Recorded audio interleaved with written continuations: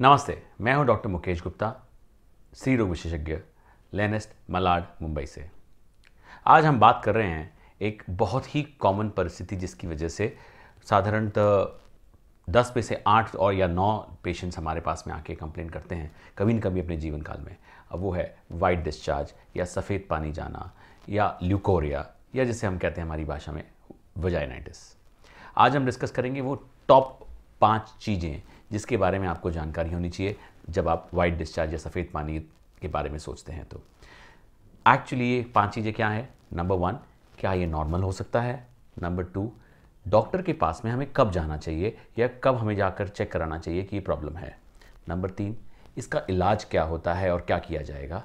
Number चार, हमारे hygiene related हमें किन बातों का ध्यान रखना है? चाहे वो हमारे कपड़ों का हो, चाहे हमारे रूटीन क्लीनिंग का हो, जिससे कि हम ये प्रॉब्लम से बार बार शिकार ना हो। और last but not the least बिना दवाई के, बिना कोई मेजर इंटरवेंशन के, क्या हम हमारे घरगुती तरीके से या हमारे लाइफस्टाइल में कुछ चेंजेस ला सकते हैं जिससे हम ये चीज़ को प्रिवेंट कर सके? तो ये पाँच चीज़ें आज की वीडियो हम देखेंगे। सबसे पहले ये समझ लीजिए कि वाइट डिस्चार्ज हमेशा एबनॉर्मल नहीं होता। कई बार ये चीज़ शरीर का एक नॉर्मल प्रक्रिया है।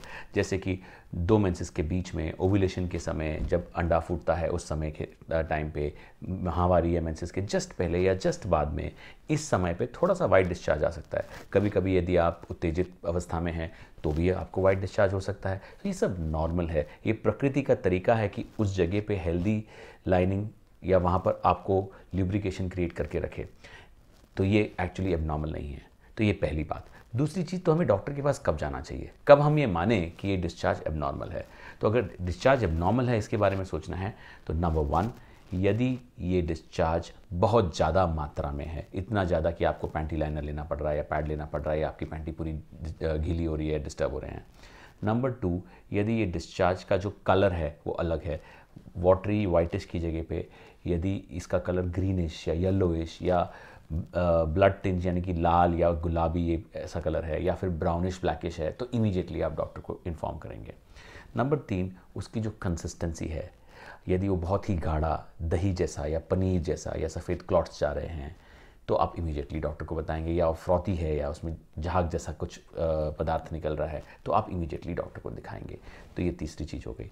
चौथी चीज़ जो हमें दिमाग में आनी चाहिए कि if it is associated with rash आसपास में लाल लाल हो रहा है इचिंग हो रही है, बहुत ज़रूरत से ज़्यादा इचिंग हो रही है, या अल्सर हो गए हैं, या छोटी छोटी फुंसियाँ या दाने दाने दाने हो रहे हैं तो आप इमीडिएटली डॉक्टर को दिखाएँगे।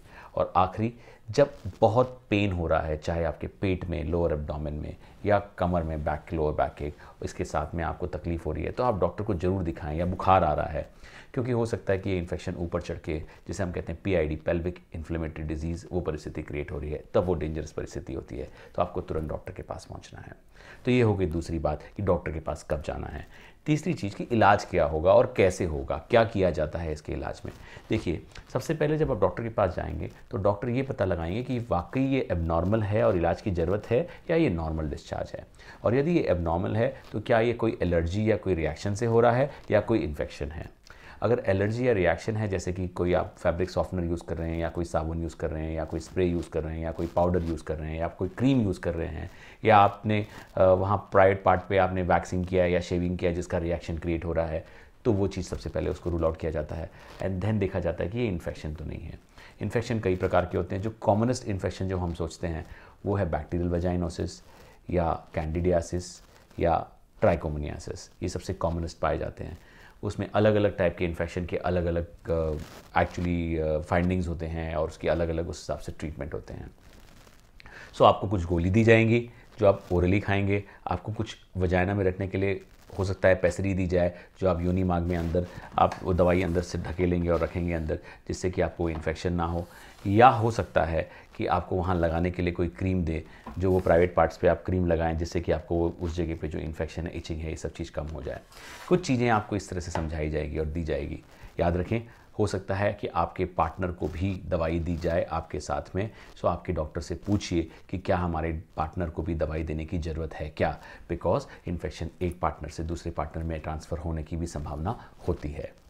ये हो गया आपका तीसरा इंपॉर्टेंट ट्रिप कि क्या इलाज कैसे होगा और क्या होगा।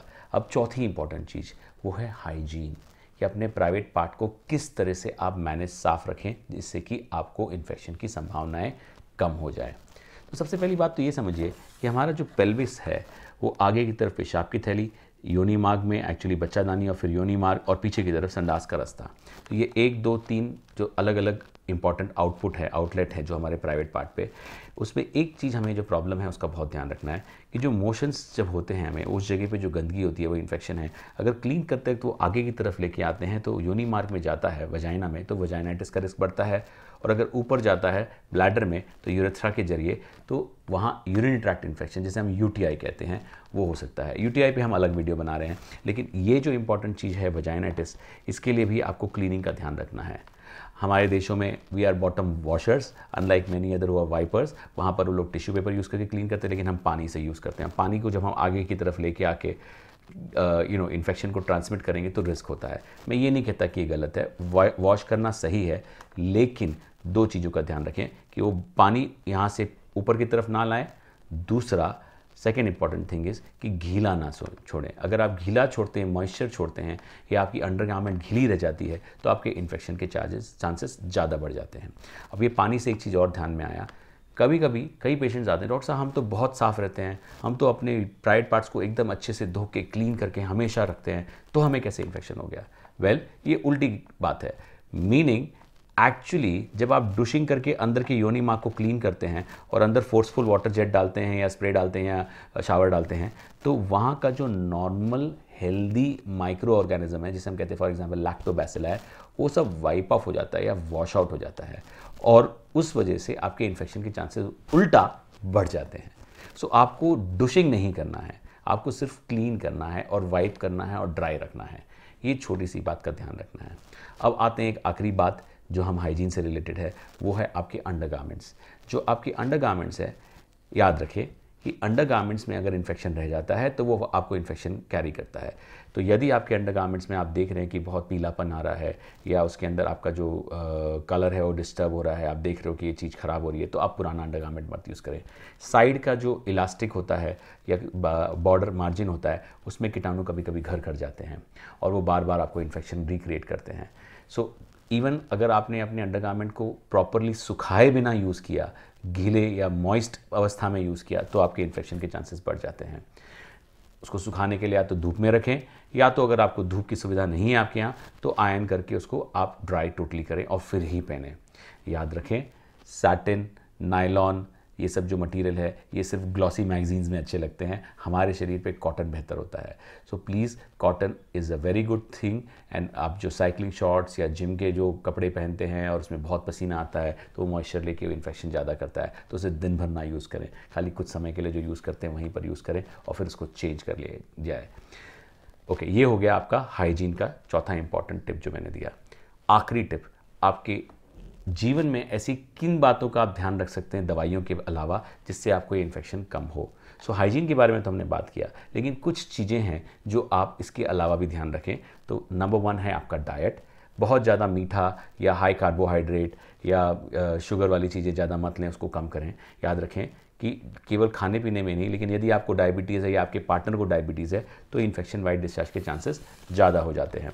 इसके अलावा दूसरी चीज़ जो आपको ध्यान रखनी है खाने पीने के अलावा, खाने के अंदर यदि एक चीज़ और सोचें तो दही या योगर्ट या ये जो सारी चीज़ें हैं, उससे आपके शरीर में प्रोबायोटिक की मात्रा बढ़ती है तो आपको उसकी वजह से इन्फेक्शन के चांसेस कम हो जाते हैं।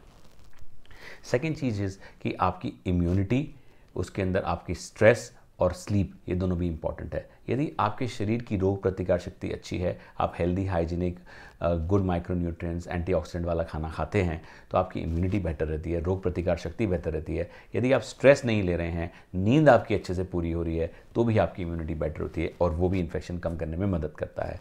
और लास्टली याद रखें, ये इन्फेक्शन शारीरिक संबंध से भी फैल सकता है।